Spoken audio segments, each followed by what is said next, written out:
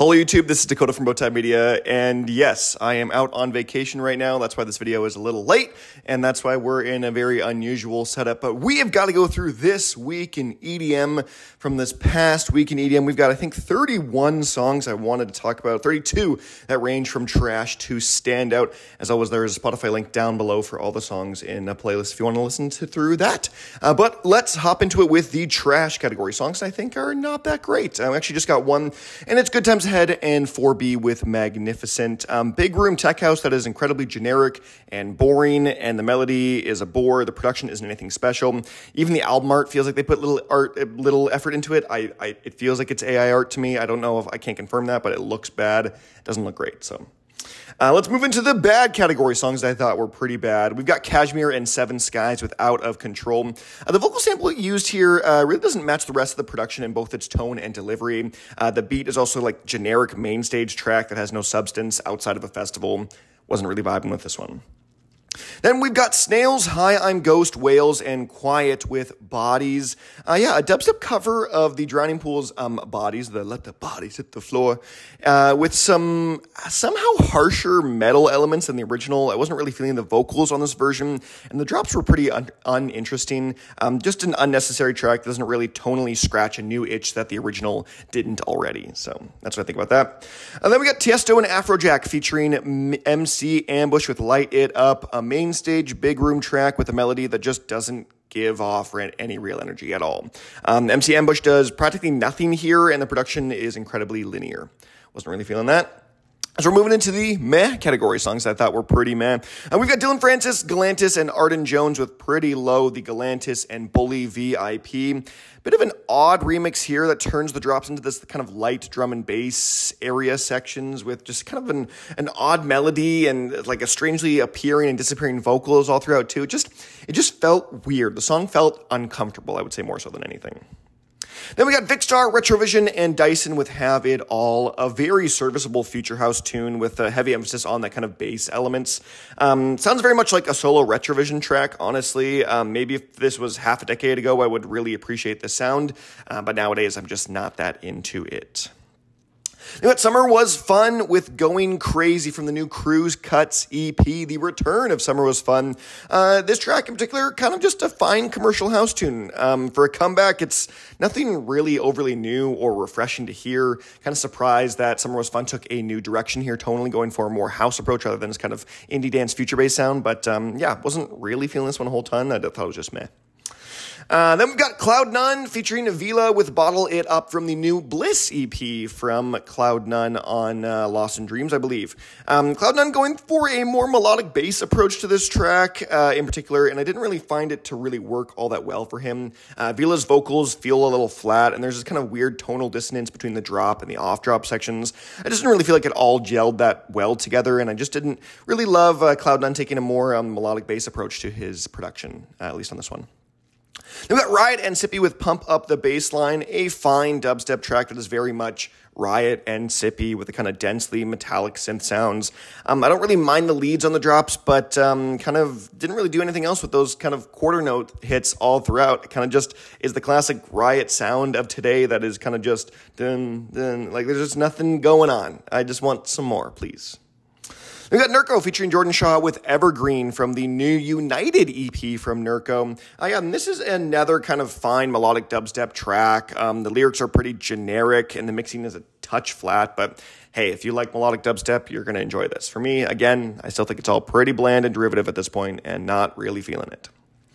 Then we got DJ Snake and Friday with Complicated, a simple kind of reggaeton beat with Latin instrumentation and a heavy emphasis on Friday's vocals all throughout here. Um, it's a nicely like kind of moving track that isn't overly complex that I think is fine for DJ Snake for the most part, but not that kind of big commercial hit, which I did sort of expect from a Friday collaboration. But yeah, that's that. Then we've got Murata with Retribution, and he is providing some retribution here. Uh, this is Murata's best song in years, maybe. Uh, the mixing is still a touch linear, I would say, but the melody is way more impactful with production that doesn't sound like everything else he's done up to this point. Um, all that being said, uh, we're still now back to just generic Bridum for me personally. Doesn't sound terrible, but still is generic. So. Then we got Bro Safari with Scumbag, the Kill Safari remix. Um, if you remember that Bro Safari had a Scumbag scumbag tra- track back from years and years ago. But now Kill Safari is this new combined alias between Kill the Noise and Bro Safari that are now remixing this old track. But um, yeah, for a remix with a new combined alias on a track that's now over a half a decade old, um, it's kind of just like good, like fine. Like it's it's just kind of here. The remix is a good balance of both artists' sound and style, um, but it's a kind of a tad dry and suffers from a lack of diversity in its tone and feels a, a touch dated for um, 2024. I would say so. Uh, kind of an kind of an oddball one there as well. Then we got Camarion with One More Time, liquid drum and bass with a roomy atmosphere and a constant drum kit. Um, it's neat, it's clean, and it's just maybe not doing enough with that main lead melody uh, for it to be anything other than meh for me, but uh, I still didn't mind it. Then we're moving into the good category songs that I thought were pretty good. Uh, we've actually got Dada Life with Five Notes from Paradise, uh, new future rave kind of big room techno that is very set in this futuristic atmosphere. I actually think this is some of Dada Life's best in a while. It's not overly complex, but I think they did a great job with the tone, and um, they did so using a ton of reverb here, very spacey, not in terms of like outer space, but just like big room uh, atmosphere here. So I liked it. Thought it was pretty good. They got Kai Wachi and Prosecute with Uncaged, a forceful dubstep track with heavy distortion and crashing bass lines. Um, the mixing is again, yeah, touch flat here, as Kai Wachi tends to have on some of those tracks. Um, and the second drop was a little bit more boring than the first, but overall, I thought the track had more going for it with its kind of intense vocals and fierce first drop movement. So, uh, not too bad. Way to go. Then we got Shingo Nakamura and or Missing Ink and Oliver River with Lily Garden. Probably one of my favorite tracks from Shingo in a little while. Um, it's a Shingo track to its core with its atmosphere and tone that just feels like you were at peace listening to it, like you're you're walking through like a rain soaked uh, Tokyo or something like that, and it just uh, is very blissful. So way to go, Shingo. Then we've got Bag, Bag Raiders and Panama with Flowers, a chilled out garage style track on this one um, with these kind of ethereal out of body vocals and a very nice atmosphere. I'm very surprised with how well I think Bag Raiders did on this one. So, and it's kind of a different sound for what they're, I remember them from Shooting Stars at least. So, then we got Starseed and Lexi Scatina with You, a strong mellow dub first and third drops with a robust psytrance midsection. Um, that all feels very comfortable for both Starseed and Lexi here. Um, if you're going to listen to mellow dub, this might just be some of the most consistent mellow dub out there right now from Starseed.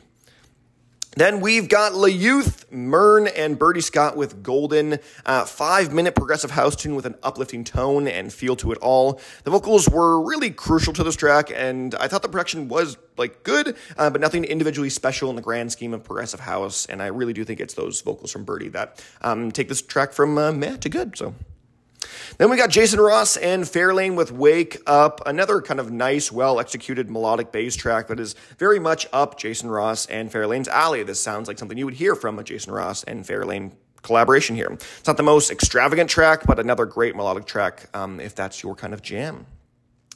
Then we have got Sleepy Tom featuring Thandi, featuring Thandi Phoenix and Magna Saint Hilary with The Rush from the title track, or that is the title track from the new EP of the same name, The Rush, um, from Sleepy Tom. Uh, yeah, this is a brand new set of funk and new disco tracks that are pure bliss. Um, this track in particular is probably more funk than it is kind of uh, new disco, I would say. Uh, but hey, it's just a sweet EP, and the track here is one that I needed to highlight. Um, both these vocalists killed it, and the production is probably some Sleepy Tom's smoothest I've heard in a little while.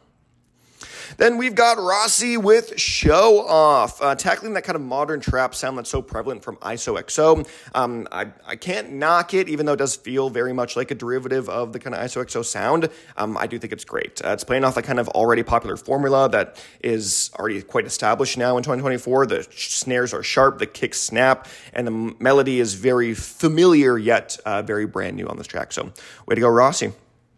Then we've got Cyclops with Crybaby. The micro drops are flying everywhere now, and this might just be one of the better ones. Uh, Cyclops' sound design was a perfect match for this unique micro drop sound, especially hearing it with like a purely kind of dubstep rhythm esque um, tone to it or genre. Uh, the lead melody is memorable, and the late bass line is just kind of chugging the whole time. So, uh, way to go, Cyclops. Then we got Gyrofield with Lagrange, uh, fluid breakbeat track with airy vocals and a constant garage style kind of drum kit. Um, there are times where the track has a lot going on all at once, but um, Gyro really balances it nicely with a kind of uh, niche or more uh, more abstract listening tune that I really enjoyed. Then we've got Chill and Skybreak with Euphoria Rush. Absolutely wild collaboration and in the best way. Um, Speed House, then Color Bass, then Psytrance, all for a track that kind of gives and gives and gives. Um, it's kind of all being also held together by this groovy bassline riff um, that sounds like it's kind of straight out of like a Mario Kart uh, tour soundtrack of sorts or a, a track from that. So another big collaboration this week. Then we've got What's So Not and Habstrakt featuring Maya Mansour with Motions, also the title track from a new EP from What's So Not called Motions. Um, this is another strong breakbeat production with kind of clean vocals and engaging vocal chops. Um, this is probably my favorite track of the EP. The beat is smooth, the mixing is elite, and I'm really actually liking this new sound that What's So Not produced here with a more kind of laid back, smoother production. Then we've got Have and Laminar featuring PVC with movements, nasty drum and bass with a brooding bass line and crunching lead melody. Uh, PVC's hip hop style vocals slot in really well with the intense kind of underground sound here, as uh, Have in particular has been on a run of really aggressive hitting DnB tunes, and it's working really well for me, and it's a style and tone I've really, really been gelling with. Then we got Teddy, Teddy Killerz with Wairu, I want to say is the title of this one from the new Play Games EP. Uh, this is a strong dance floor DnB production of a track here with great kind of non-English drops. Um, the drops are dense and heavily distorted, and it sounds like some of Teddy Killer's best production uh, in a while, I would say. So uh, I need to get into the more, I need to get more into the whole EP holistically, for sure.